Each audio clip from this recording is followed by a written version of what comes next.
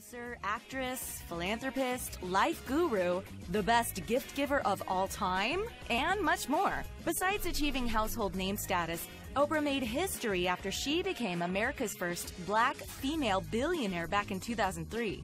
Plus, did you know that she became a millionaire by the age of 32? While she now has more money than she knows what to do with, her finances weren't always fine and dandy. Make sure to keep watching until the end to meet the special young women who call Oprah Mama O.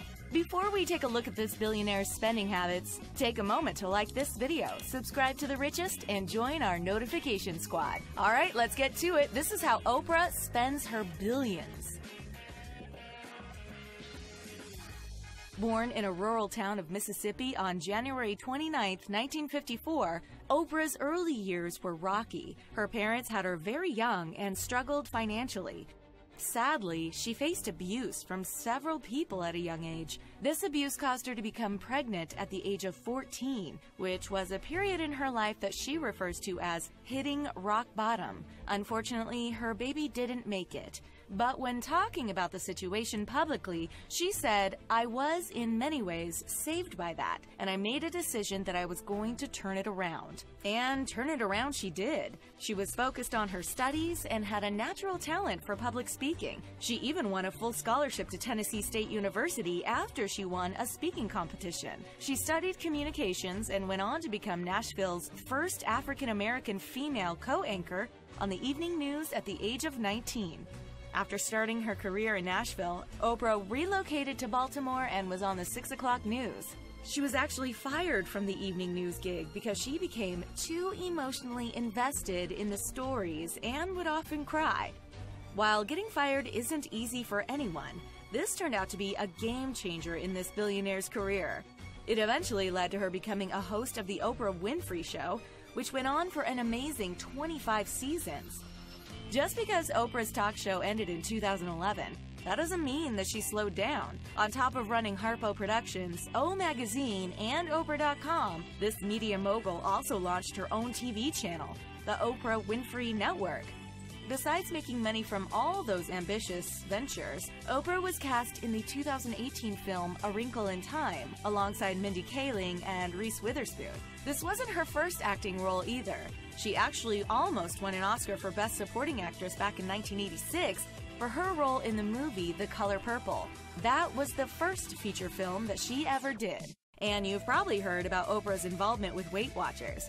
She invested $43.5 million in the weight loss company back in October 2015. Today, it almost seems like everyone's back on the Weight Watchers bandwagon.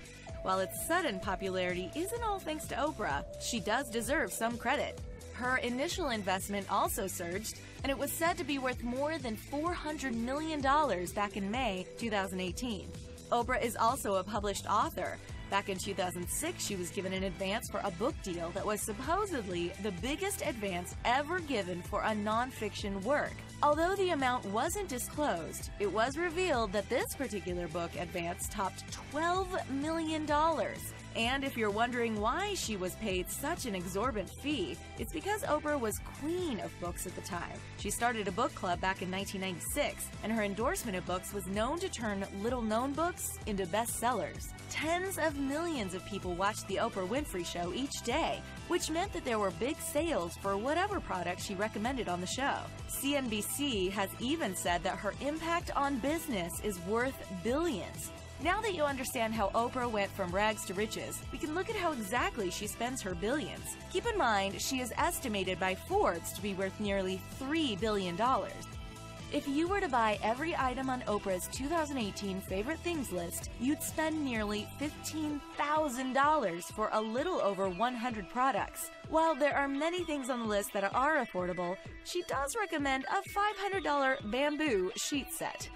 Not only did Oprah invest in Weight Watchers, but this TV queen has a few investments under her belt. In July 2018, it was announced that she had made an undisclosed equity investment in True Food Kitchen, a healthy restaurant chain in Phoenix. The restaurant offers sustainable, local, and organic meals. It's expected that Oprah's investment will help to double the company's business in the next three years, which will also double her profit. But she's not in it for the money. Frankly, she doesn't need any more money. She just loves to bring people together over a good meal. And this business venture was an opportunity for her to bring good food to the masses. She owns a 20,000 square foot mansion in Montecito, California. She bought another piece of Montecito land right next door that boasts an equestrian center. Then there's her $8 million waterfront abode on Washington State's Orcas Island. She owns a charming ski chalet located in the mountain village of Telluride, Colorado. And she has beautiful waterfront property in Maui. Her Hawaiian paradise is so private that she even owns the four mile road that leads up to it.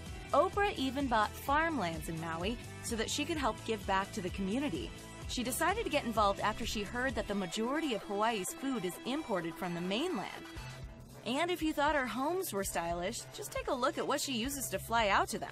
In 1991, the TV talk show host shelled out over $40 million for a private jet. Oprah believes that having your own airplane is the greatest luxury because you can decide to fly anywhere in the world on a whim. She actually purchased the extravagant aircraft after she had an unpleasant encounter at the airport. A rude woman had come up to her to berate her for not acting the same way that she acted on TV, even though Oprah was just trying to sit down and mind her own business. She bought a private jet so she'd never have to be harassed like that ever again.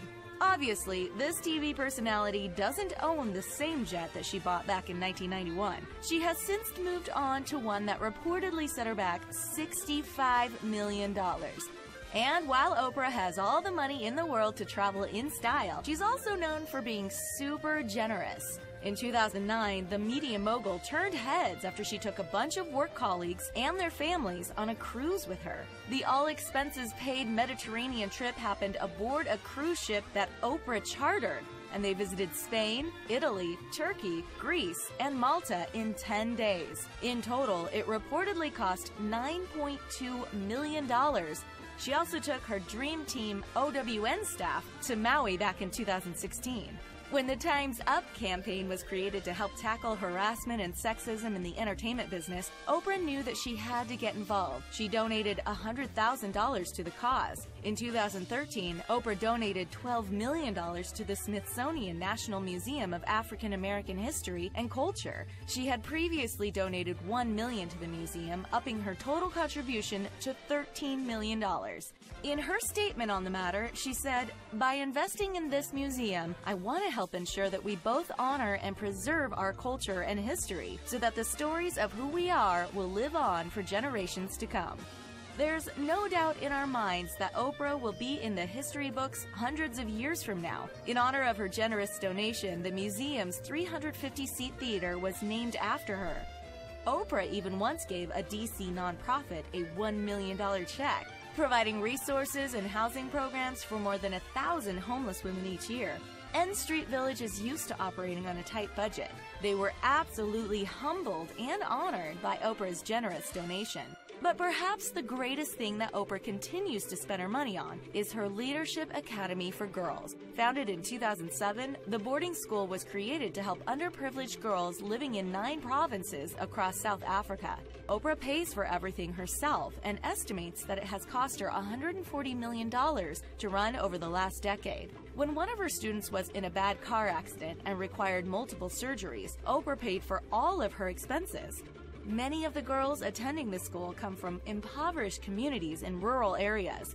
They grew up in huts and were devalued because of their gender. Many students are also orphans that have been through unimaginable abuse. Oprah even admitted in an interview that the majority of the girls coming to her school have suffered six major traumas on average. And we're not exaggerating by calling them her girls. Oprah may not have any biological children of her own, but she is Mama O to these students. While the girls had little hope of achieving their dreams before they were gifted with the opportunity to go to Oprah's school, they now go on to attend prestigious universities like Brown, Oxford, and Stanford. Though she's written a lot of checks for many different organizations, creating a school and changing the trajectory of so many people's lives is the best feeling in the world for Oprah.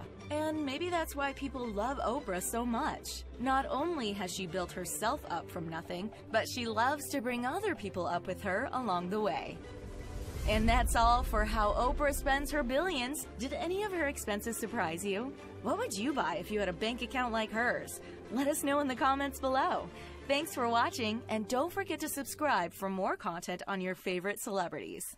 Producer, actress, philanthropist, life guru, the best gift giver of all time, and much more. Besides achieving household name status, Oprah made history after she became America's first black female billionaire back in 2003. Plus, did you know that she became a millionaire by the age of 32? While she now has more money than she knows what to do with, her finances weren't always fine and dandy. Make sure to keep watching until the end to meet the special young women who call Oprah Mama O.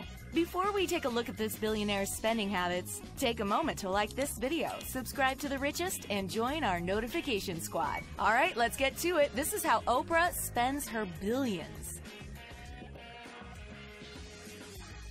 Born in a rural town of Mississippi on January 29, 1954, Oprah's early years were rocky. Her parents had her very young and struggled financially. Sadly, she faced abuse from several people at a young age. This abuse caused her to become pregnant at the age of 14, which was a